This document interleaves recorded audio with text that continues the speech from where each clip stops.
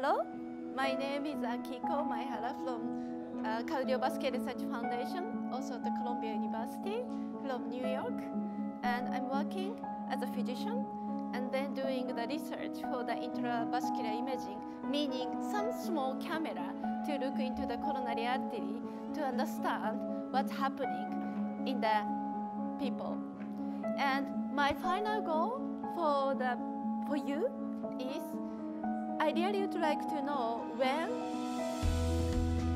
when, who has the myocardial infarction, and I try to treat those attack, heart attack in advance. So that's my goal of the research. And then finally, we deliver that answer to all patients.